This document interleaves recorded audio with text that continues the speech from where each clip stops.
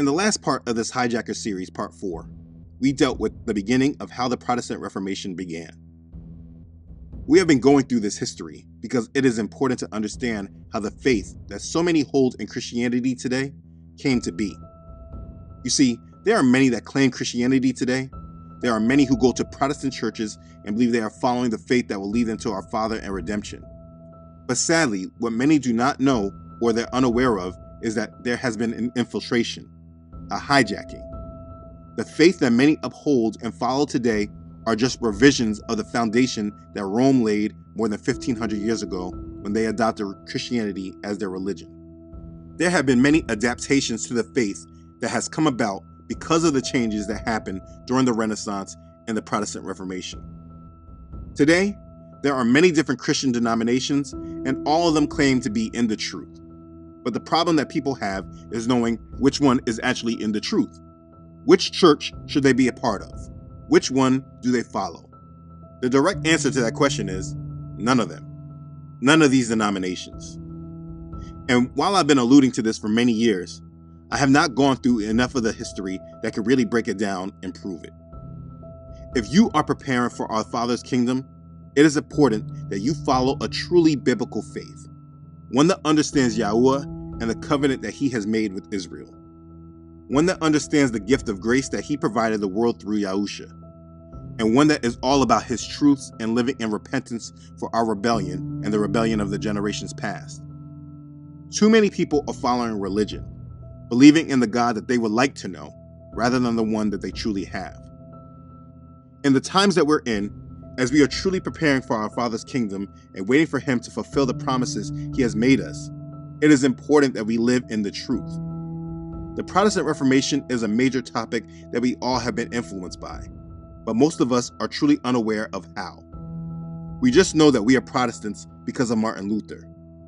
So now that we're going over the history of this movement, understanding from part 3 that the foundation Martin Luther came from was the foundation that Rome established and laid understanding how far the Roman Church went with the creation of this Christian faith, all the way to selling people indulgences that they can purchase themselves and can redeem themselves by, to understanding in part four how and why the Protestant Reformation began, which was not just because of a complete break from this false Roman system, but because of the disagreement with Rome in regards to indulgences and Martin Luther seeking after debate.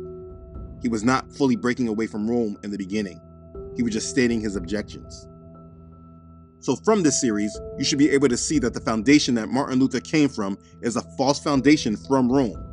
And instead of removing all influence and mindsets that came from this false foundation, he chose particular ones and debated them, and because he got attention, it started a movement. The movement was not about putting the Most High Yahuwah as our priority. The movement was that people could now disagree with the Church of Rome, and this is the main change that the Protestant Reformation brought forward. And so this is what we have seen as we've gone through this history. But we still have not gotten to the main events that brought the most attention to this Reformation period. So I do recognize it's easy for someone to have their basis of disagreement, because while they see about Luther and his foundation, and they see how the Reformation started, it still does not mean in the end Martin Luther did not come to a full understanding based in truth, which is how we all got to where we are today. I do understand that because this has not been fully dealt with yet, there still is room for skepticism and doubt. So, what needs to be done is a clear breakdown of the major moments of the Protestant Reformation. We need to discuss the main history of the Protestant Reformation that really changed the world. This video will deal with the most important part of the history of the Protestant Reformation and how the Reformation truly changed the world. So, in this part of the series, we will now discuss when Luther was put in front of the Emperor of the Holy Roman Empire, as well as a representative of the Pope, where he made the most famous line of the Protestant Reformation. As we go over this information, by the end of this video, it should be made much more clear that this movement was another agenda where we saw Satan hijack the authority of our faith and plant more tares. This history is the reason why there is so much division and confusion within the body of Messiah today. But once this knowledge and understanding takes hold, we can now be set free, and we no longer will be led by lies and falsehoods any longer. So, in this part, we will now discuss the most important moment of the Protestant Reformation that truly changed the world. Let's begin. Okay, so we ended part four with the backlash that Luther received after he posted his 95 Theses. On October 31st, 1517, he posted his theses in regards to the indulgences being sold by the church, and his disagreement made it all the way to Rome, where Sylvester Mazzolini, also known as Prierius, concluded that whoever says that the Church of Rome may not do what it is actually doing in the matter of indulgences is a heretic. And so Luther would now have to travel to Rome and face Inquisition. And so after this, for the next three or four years, we will see that Luther never actually made it to Rome, and there were formal meetings and debates in regards to Luther. For time's sake, I will not go into all the details because the information is inconsequential. What should be noted is that Luther was getting attention, and he was debating the matter while also petitioning Rome to have his case dealt with in Germany instead of him having to go to Rome. Over the years, he wrote many different pieces and had many different debates. This is why I said he's one of the most documented people in history. One of his most important debates happened in Leipzig, Germany in 1519.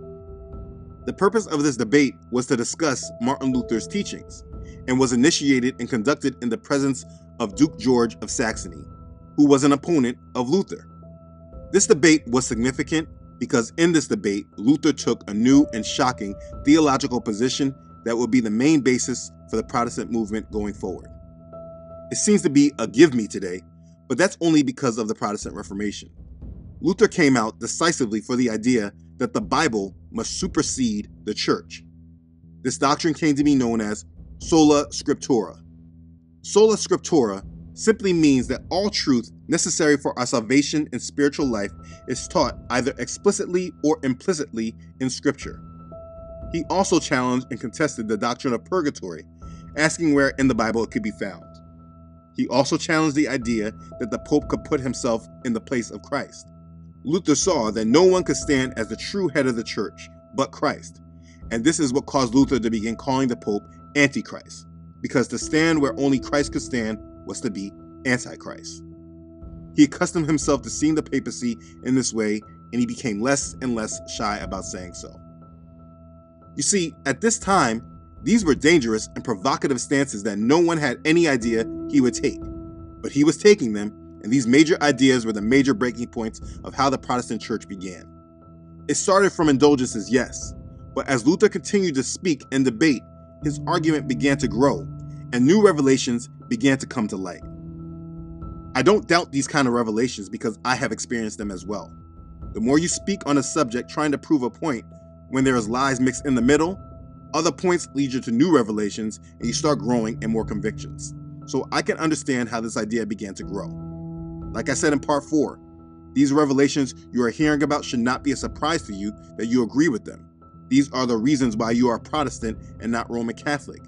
I mean, I do not disagree with any of these revelations. But I must be clear that just because I do agree with these points, it does not validate the whole movement. Because while Luther was calling out falsehoods, he never actually got to the point of understanding that his whole foundation was off because of the replacement theology that started from Rome. Please understand that as you hear about his challenges to Rome, he never got to the heart of the matter and understood who Yahweh is in covenant with and how we must come back to him. While he declared sola scriptura, fighting the point that the Bible must supersede the church, he never applied it enough in full to make the movement be based in truth. And for many of you, this should be understood because you are not Lutherans. If he was in full truth, you would be a Lutheran and not a Baptist or a Seventh day Adventist. We will deal with all of these differences later, but it's clear most of you watching are not Lutherans. There is a reason why that is. So, anyways, Luther began to grow his arguments against Roman Catholic Church doctrines. In 1519, he advocated that the church should allow the ordinary people, not just the clergy of the church, ordinary people also, to take both the bread and the wine at communion. Luther was establishing the idea that everyone who has faith in Christ is equal and that the church's position that priests are somehow different from the people in the pews is wrong. And because of this, he was known to the ordinary people in the pews, these people also known as laymen or lay people. These people, through Luther, they believed that they now had a voice. And because of this, this was one of the main ways the Reformation spread from parish to parish, as more and more believers demanded that they too receive the wine along with the host. Luther was really beginning to feel that somehow he had been liberated to say whatever he must. he found himself rapidly and dramatically rethinking everything, and saying so in his writings.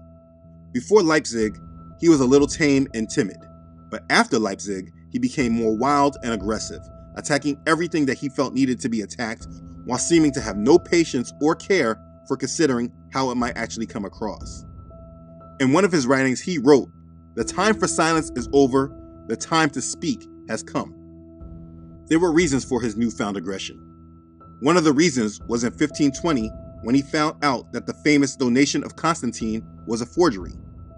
You see, the donation of Constantine was a document purported to have been written by Emperor Constantine early in the 4th century. This is when Constantine established Christianity as the religion of Rome. And this document gave all authority over Western Europe to the Pope. And the Roman Church used it for centuries to underscore the inviolability, meaning the fact or quality of being safe or protected from attack or interference. They used this document to underscore the fact that you cannot attack the Pope's authority. When Luther saw that it was now proven to be a forgery, he became emboldened because he now realized that the church had used a lie to silence its critics for centuries. He felt betrayed, and it made him wonder what else was a lie. And then shortly after this, Prierius published a new document proclaiming the same argument for the unquestioned authority of the Pope. In the document, Prierius did not use any scripture or reason. The Pope's authority trumped everything and went as far to say that the Pope could not err, which meant to be a mistake.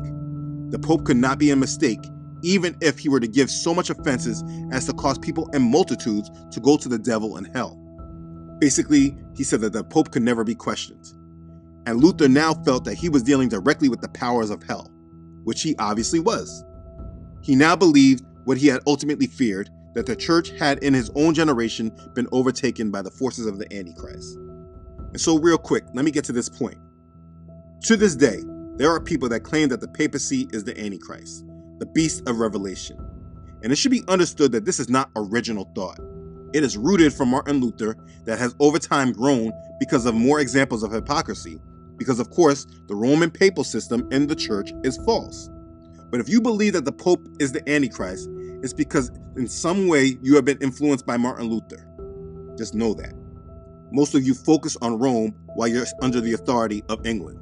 It makes no sense, but I don't want to lose my point here.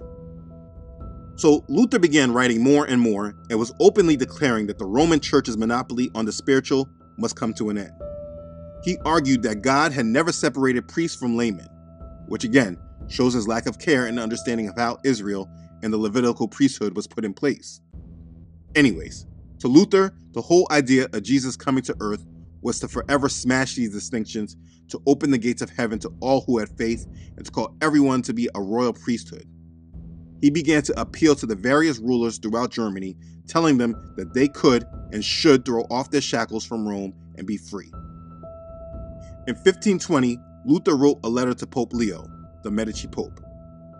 The Church of Rome, formerly the most holy of all churches, has become the most lawless den of thieves, the most shameless of brothels, the very kingdom of sin, death, and hell, so that not even the Antichrist, if he were to come, could devise any addition to its wickedness.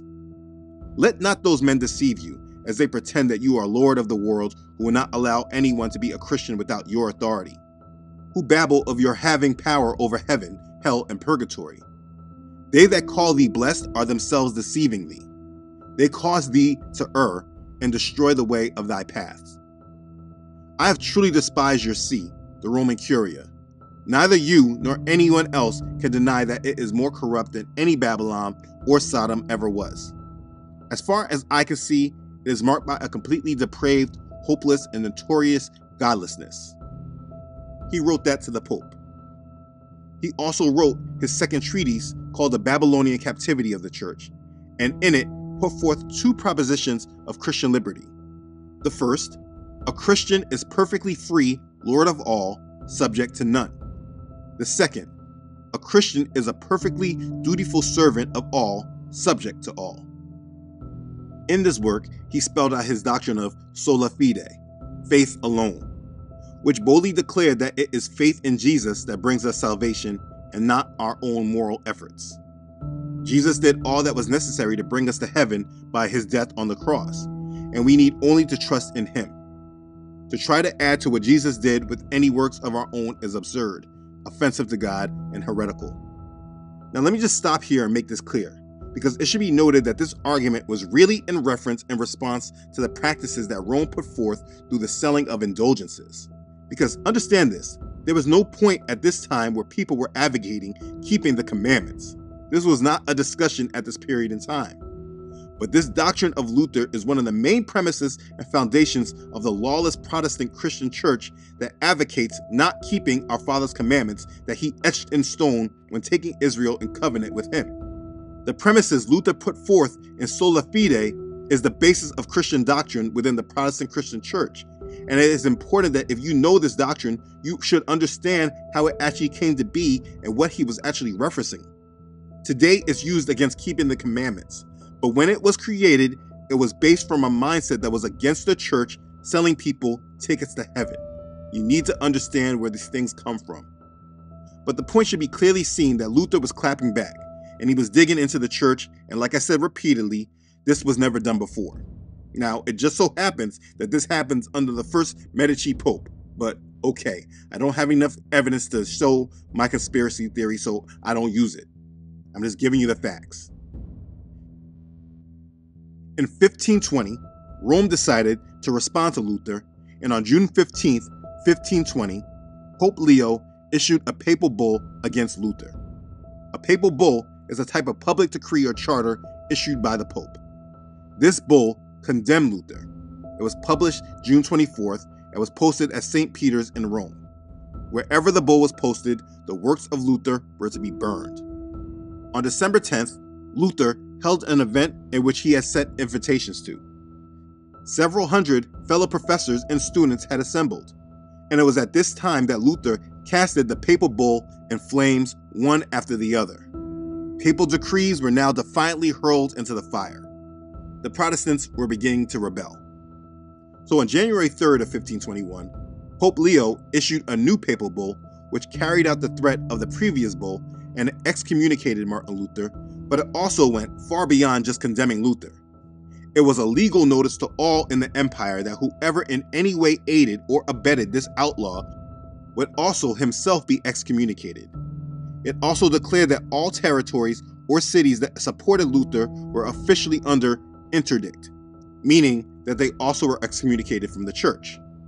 They were forbidden to offer any of the seven sacraments of the church. This was the ultimate weapon of Rome by denying the sacraments of the church, it is literally saying that they are denying salvation itself. Pope Leo was coming back hard. But this did not have the effect Rome expected, and once the bull was published, many Germans took it as an invitation to follow Luther's example from a month earlier.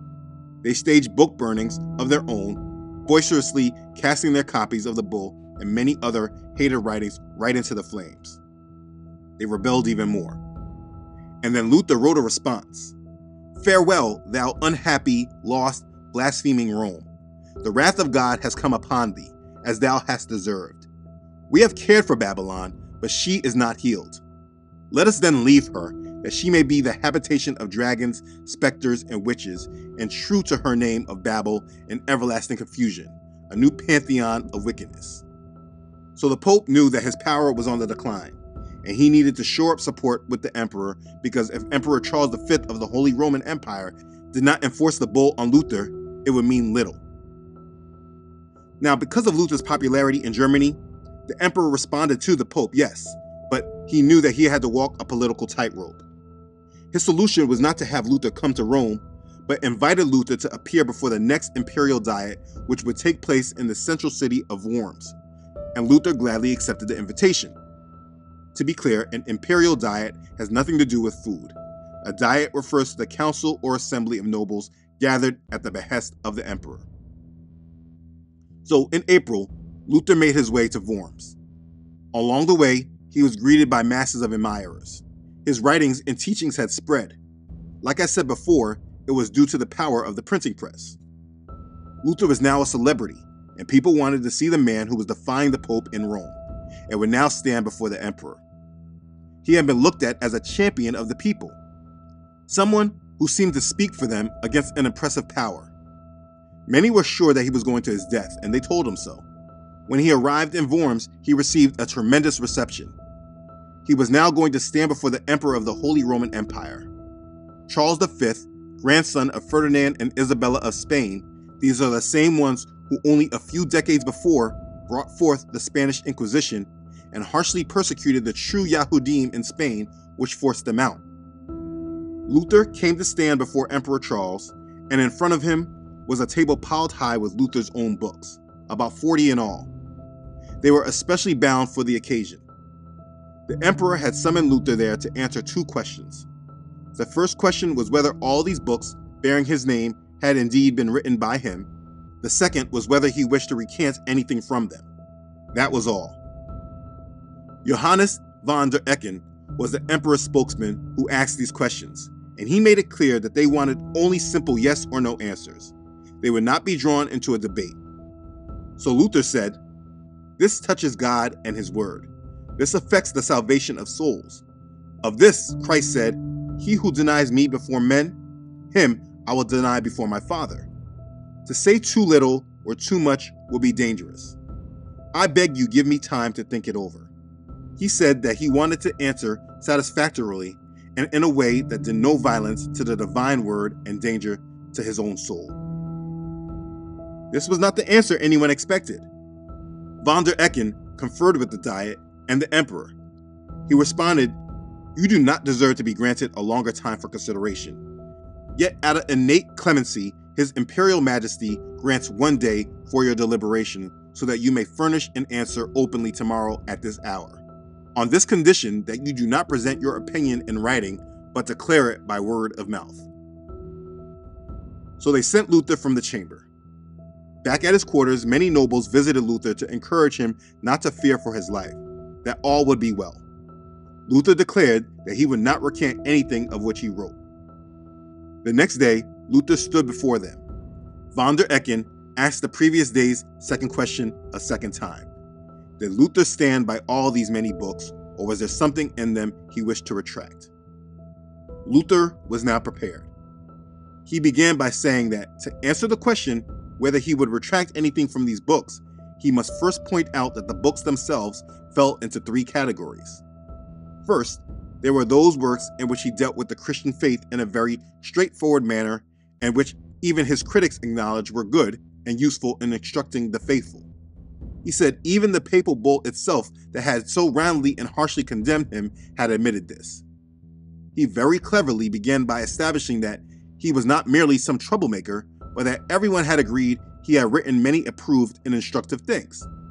Then he said, the second category of books that inveighs against the desolation of the Christian world by the evil lives and the teaching of the papists. Who could deny this when the universal complaints testify that by the laws of the popes, the consciences of men are racked?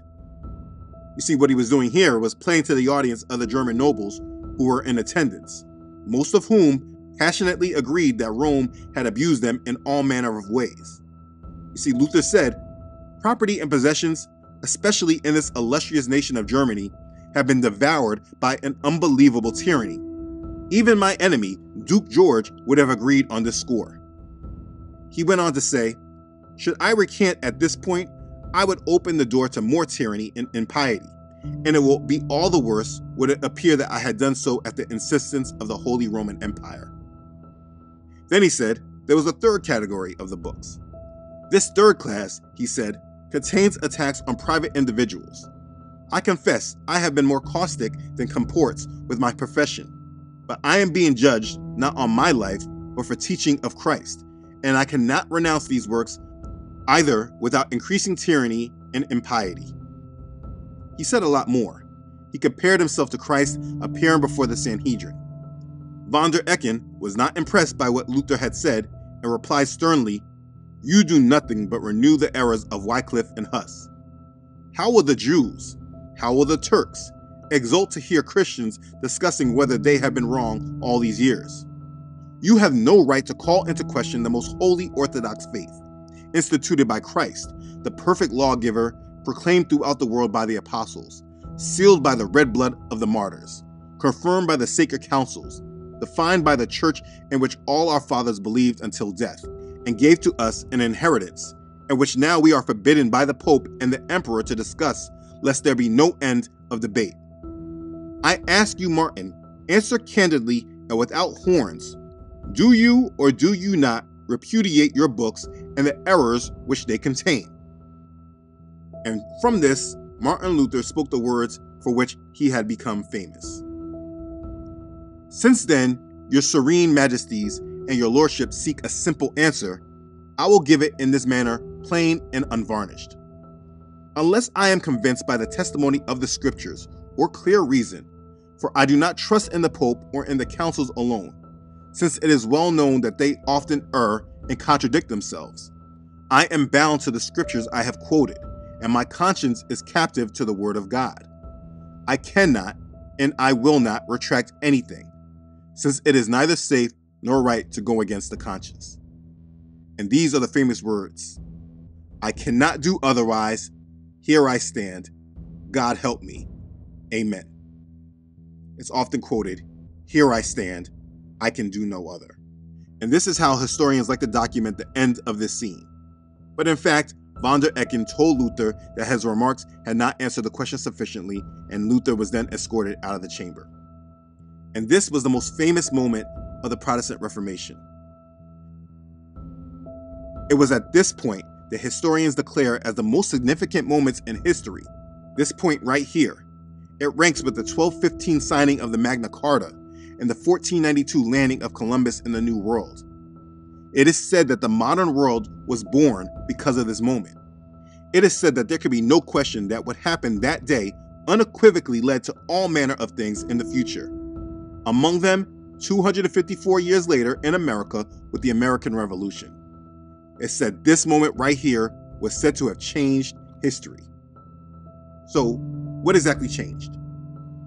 You see, once the interpretation of the scriptures and the concept of truth was taken away from the church itself, it was given away to each individual, and real and objective truth itself was effectively abolished.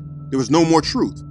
Once the authority of the church was broken up, and there was now opportunity to disagree with the church, anyone might disagree with any authority. And from this, a thousand churches might spring up, each with its own version of the truth. And guess what? This is precisely what happened. You see, before the Reformation, the Catholic Church reserved the right to say that it, and it alone, spoke for God.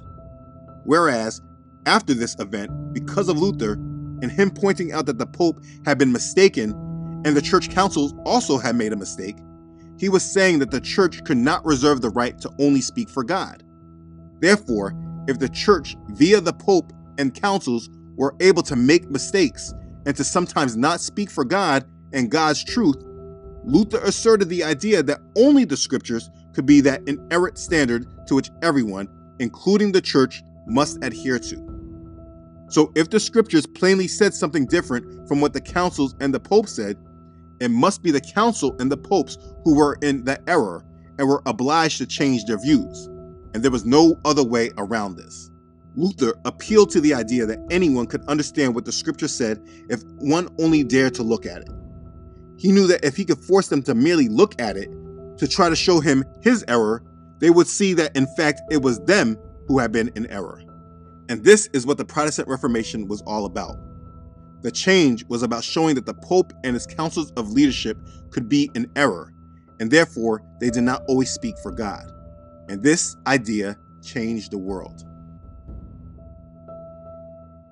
Now we'll stop here at this moment, and in the next part, we will conclude with what happened after this diet and what happened with Luther in the end. Because I do not want to lose you, and I do not want this important understanding that I'm about to explain to get past any of you it is crucial that you understand what changed from this point on. Let's put it this way. I have long established in this hijacker series that the Roman Catholic Church are the tares that were planted by Satan. They are weeds that were growing along with the wheat.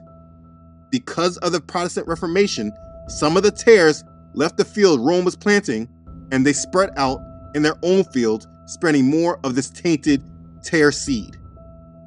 The Protestant Reformation now made the Christian church like the Wild Wild West. Based from Luther, anyone could read the Bible and disagree with the doctrine or point, and now because of this difference, they can now start their own church. I illustrated this in part 4 and I will illustrate it again. The Protestant Reformation didn't just end with Luther's view being the standard. Once someone disagreed with some of Luther's theology, then this person would then form a new denomination.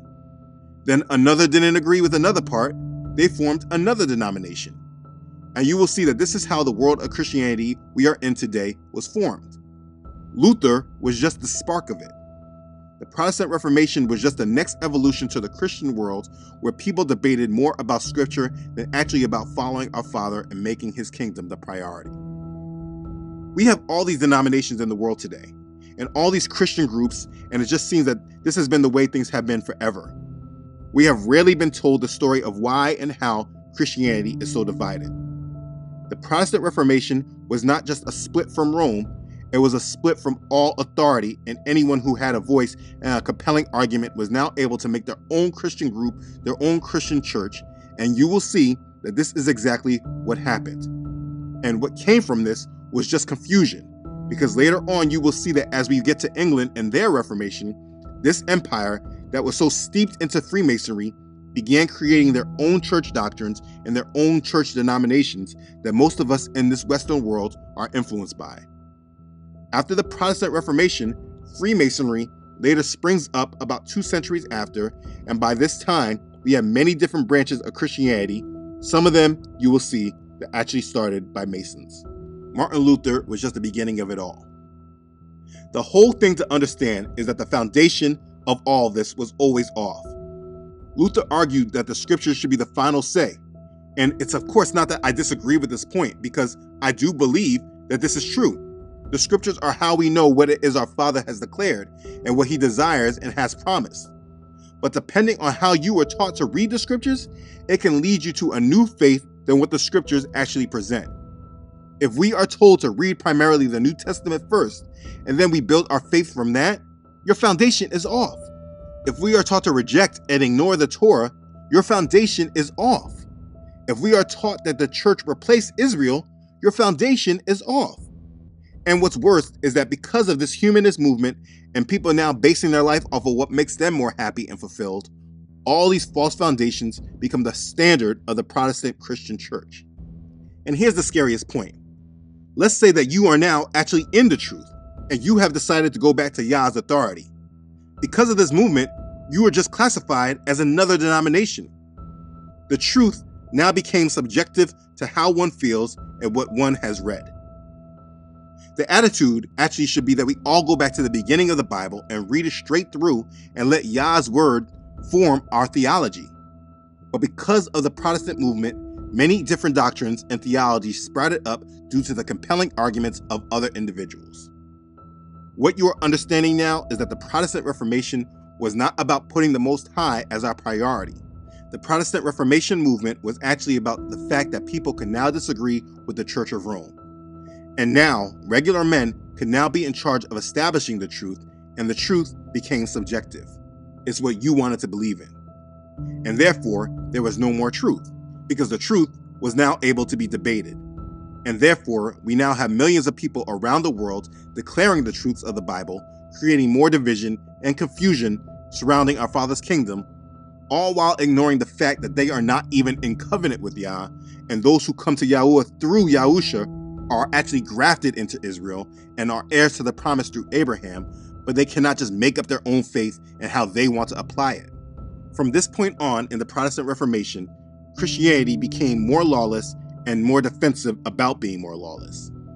Everyone was able to make their own doctrines and uphold their own traditions, which is why we can even debate today about pagan holidays and whether we can celebrate them or not. It's because the truth became subjective and dependent on your own denomination, and basically, the main feeling is that if you choose not to do it, then that's fine. But your Christian doctrine doesn't have the right to judge mine. It's about arguments and debates, and not anything at all about our Father's will.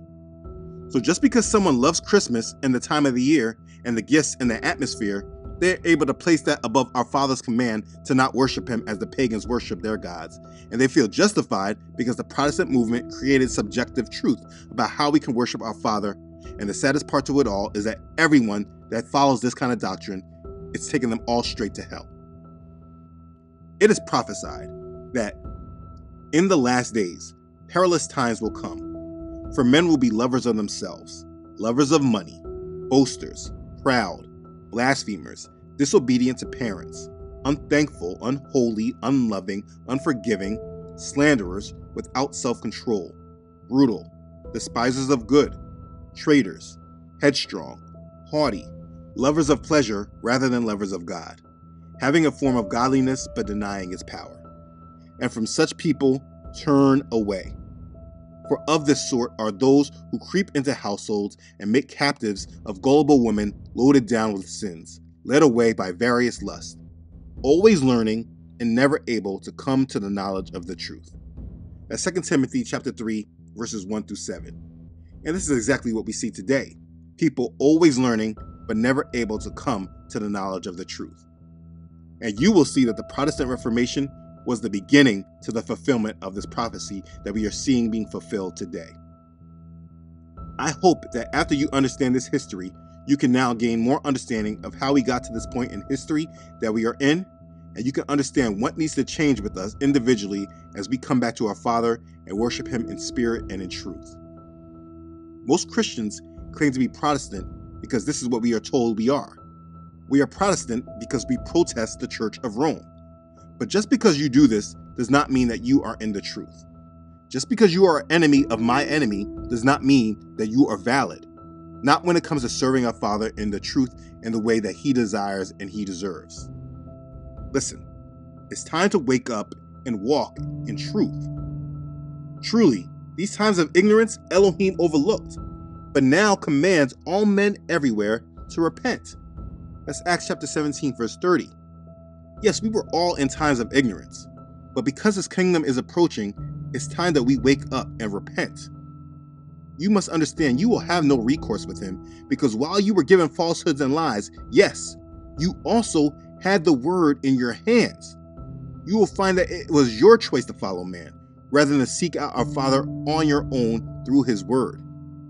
Everyone says that they believe in scripture alone, sola scriptura, but hypocritically, no one is reading scripture alone. Please make sure you do not make this mistake. I am not telling you to follow me and my doctrine. I'm telling you to pick up your Bible and read it without influence and understand what Yahuwah has been saying and pleading with his children for millennia. It's time to repent and to come to our Father in truth. It's the only way you're going to make it out of what's coming to this world. So please, make sure you make the right decision today and come to our Father in truth. And please, turn away from the false doctrines and the false traditions of men. Be blessed. Hallelujah. Praise Yah. Okay, thanks again for watching. If this has blessed you, please make sure to like it and share this video with others. If you haven't done so already, please make sure to subscribe to this channel. Yah willing, I upload every Friday. Also, please don't forget to subscribe to this channel on Facebook and Instagram, as well as on my website, truthunedited.com. As always, I'd like to thank all who donate and contribute to this ministry. Your donations are truly a blessing to this ministry, and they help very much. I thank you for your love and your support and letting our Father use you. You are truly a blessing, and I really, truly appreciate your support. Be blessed. Okay, thanks again, everyone, for watching. I love you all.